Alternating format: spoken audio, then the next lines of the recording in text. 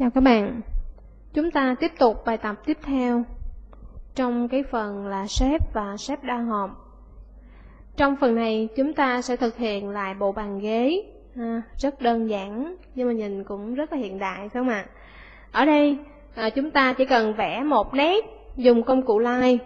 Chúng ta vẽ một nét trên chiếc ghế Và sau đó chúng ta sẽ cho sử dụng một cái lệnh là outline để tạo ra một cái đối tượng song song một đường lai song song.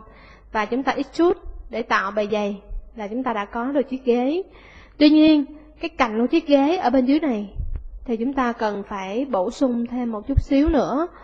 À, và tương tự như vậy chúng ta sẽ vẽ cho cái chân bàn cũng như là cái mặt bàn này à, về mặt bàn thì các bạn thấy là cái bề dày của mặt bàn rất là đặc biệt à, nó không phải như là một cái hình chữ nhật bo góc rồi ít chút thẳng lên à, nếu như chúng ta chỉ sử dụng là extrude thì cái chỗ này không thể nào là nó bo tròn được ha? Nó sẽ sắc xuống ha, thẳng đứng xuống. Do vậy mà chúng ta phải sử dụng một cái lệnh khác nữa đó là cái lệnh vivo profile ha, trong phần này chúng ta sẽ ứng dụng hai cái modify cơ bản đó là extrude và lệnh vivo profile. Hai lệnh này đều là những cái lệnh để chuyển đổi đối tượng từ 2D lên 3D được chưa Bây giờ chúng ta quan sát phần thực hành. Trong phần này, chúng ta sẽ vẽ trước một cái ghế. Nhưng mà bây giờ chúng ta nên vẽ trong vùng nhìn nào ạ? À? Tôi vẽ trước cái ghế này nè. Theo các bạn thì tôi nên vẽ trong vùng nhìn top, vùng nhìn left hoặc là vùng nhìn front. ha để ờ, biết được chúng ta nên vẽ vùng nhìn nào thì chúng ta hãy nhìn thử xem cái ghế này nhìn từ mặt trước nhìn vào thì đứng ở đây là bằng nhìn vào thì chúng ta sẽ thấy được cái bề mặt này thôi, ha? Rồi bề mặt trên đây thôi. Chứ chúng ta không thấy được cái mặt sau, không thấy được cái mặt bên hông nó như thế nào, ha? Nhìn từ bên trái nhìn qua, tức là mình đứng ở góc này chúng ta nhìn qua, thì các bạn thấy là cái ghế của chúng ta nhìn rất là rõ về cái đường nét của nó. Còn nhìn từ trên top nhìn xuống thì thôi, khỏi thấy gì hết không ạ à? chỉ thấy một cái mảng ngang thôi. Do đó chúng ta sẽ chọn cái vùng nhìn nào mà các bạn có thể quan sát được cái đường nét của nó tốt nhất thì chúng ta hãy làm việc. Do đó trong bài này tôi chọn vùng nhìn lép để tôi vẽ chiếc ghế này. Nên tôi vẽ một cái đường line như thế. Chọn vùng nhìn lép. Vào nhánh lệnh create uh, shape và chọn line. Tôi xem như ở đây là mặt sàn ha, sàn nhà. Thì một chân ghế nó phải bắt đầu từ cái sàn nhà. Đi lên trên đây ha, tạo ra cái chỗ dựa và xuống đây. Đây là chỗ ngồi. Đó thì nó sẽ tới đây. Được không ạ? Đó thì đây là cái hình dáng cơ, cơ bản của chiếc ghế mà chúng ta cần phải vẽ ra. Chúng ta ngồi ở đây dựa lưng ở đây ha. Rồi sau khi có được một nét chúng ta sẽ dùng cái chức năng là sb line và chúng ta sẽ ráp mau tạo ra thêm một cái đường line nữa đó là outline. Được chưa? Và sau đó thì chúng ta sẽ xem à cái ghế đặt như thế này là không có không được ổn lắm phải không ạ? Nó hơi uh, bị hỏng ha, hỏng chân. Do đó chúng ta sẽ à, vẽ thêm ha, vẽ thêm vào đây để cho nó bằng lại đây phải không ạ? Vẽ thêm. Chứ còn nếu như mình kéo cái này xuống á, thì kéo cũng được à, cũng được thôi. Nhưng mà làm như thế này thì sao? Cái phần bên trên nó sẽ không còn song song nữa ha? Nó sẽ bị thay đổi. Cái nét này nó hơi thay đổi đi một chút. Đó. các bạn có thể làm cách này cũng được. Còn không á nếu như mình không thích làm cách này thì chúng ta sẽ vẽ một cái nét. À, tôi chỉ cho các bạn làm thêm cách nữa. Và đối với cách này thì tôi sẽ sử dụng đến một cái chế độ nữa đó là cái 2D Snap.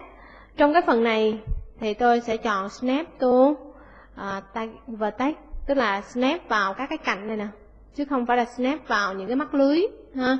Cho nên chúng ta sẽ bỏ hết những cái hủy chọn hết những cái gì đang có sẵn ở trên đây chỉ kiểm nhận cái snap to vertex thôi. Và chúng ta sẽ ứng dụng cái chức năng đó là pre-align ha, pre-align để vẽ tiếp ha, chức năng này cho phép chúng ta vẽ tiếp một cái đường nét đang có sẵn. Được chưa? Và chúng ta sẽ vẽ tiếp là đây. Ha, chúng ta sẽ có được một cái chân ghế ngang. Và tương tự, ở bên đây chúng ta có thể vẽ tiếp một cái chân ghế như thế. Realign. Và vẽ thẳng vào đây. Tiếp theo cái đường tiếp nối của nó.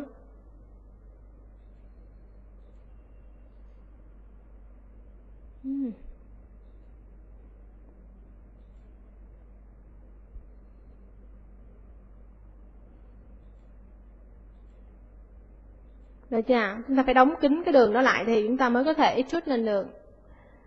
Rồi, sau khi mà chúng ta đã có được cái hình như thế này, thì chúng ta sẽ ứng dụng một cái lệnh đó là lệnh extrude để chúng ta tạo khối. Quan sát kết quả của mình trong vùng nhìn fence, vùng nhìn steel. Các bạn thấy cái ghế của mình vậy mình ngồi được chưa nếu như cảm thấy là mình chưa thích ngồi ngồi chưa được, thì chúng ta có thể chỉnh sửa lại, ha. Có thể cho chỗ ngồi của mình nó rộng hơn chút xíu chẳng hạn. Được mà, nếu thích thì chúng ta có thể làm được như vậy. Tức là chúng ta quay trở về cấp độ vertex để chúng ta kéo đi. Được chưa? Rồi, sau khi chúng ta đã có được một chiếc ghế như thế này, ha, có được một chiếc ghế như thế này, chúng ta à, tiếp tục vẽ tiếp một cái bàn. Cái bàn thì nhìn từ đằng trước nhìn vào ha ở đằng trước nhìn vào thì bạn thấy nó như thế này. Chứng tỏ là chúng ta cần vẽ cái chân bàn này trong vùng nhìn phân phải không ạ? Phân là đằng trước. Cho nên tôi sẽ vẽ trong vùng nhìn phân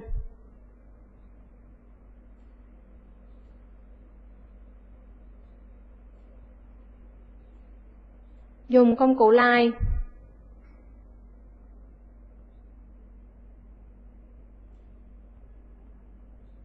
Tôi chỉ vẽ nửa cái chân bàn thôi. Tại sao ạ? À? tại vì nửa chân kia nó rất là đều đối xứng qua. Cho nên tôi chỉ cần vẽ phần nửa và sau đó thì tôi lật đối xứng sang. À, dùng công cụ mirror lật đối xứng sang. Tôi chọn kiểu copy. Được chưa và chúng ta sẽ di chuyển nó về đây. Sau đó chúng ta sẽ attack hai đối tượng này lại. Ha attack lại và hàng ha chọn cấp độ vertex. Chúng ta kết hợp chúng ta hàng hai cái mối này lại. Khi hàng á thì chúng ta sẽ tăng cái giá trị của em này lên ha hàng lại. Được chưa ạ? Và tương tự như là cái ghế chúng ta sẽ chọn cấp độ SV line và chúng ta sẽ chọn outline ha, cho nó có cái đường nét dày lên.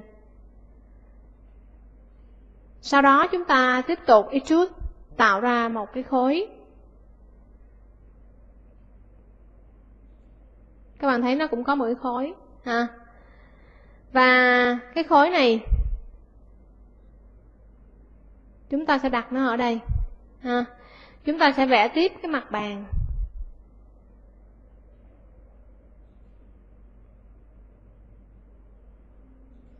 Cái khối này các bạn thấy nó hơi cao phải không ạ?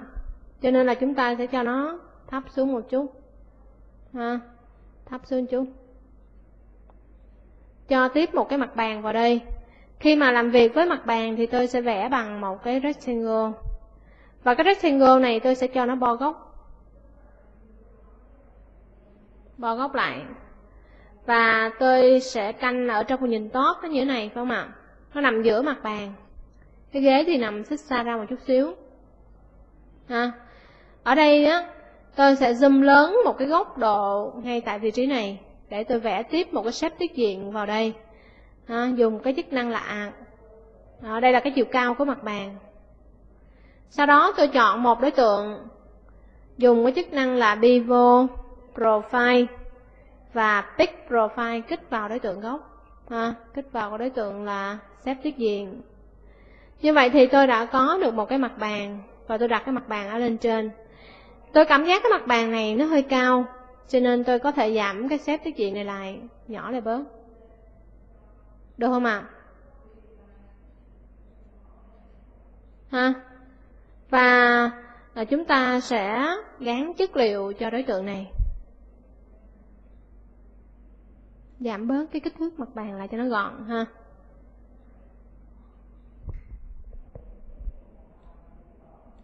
Đó, chúng ta có thể copy ra thành hai cái ghế ha. Và sau đó chọn tất cả các đối tượng này chúng ta sẽ bấm phím M. Vì chúng ta chưa học chất liệu cho nên trong bài này người ta đã cung cấp sẵn cho chúng ta những cái chất liệu trong suốt như là kính ha, mặt bàn này là mặt bàn kính.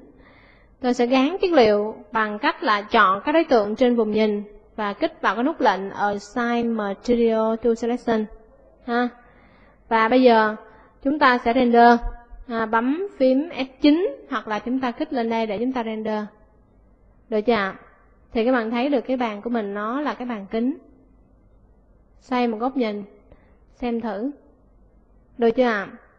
Ha đó là cái bài tập ngày hôm nay của mình.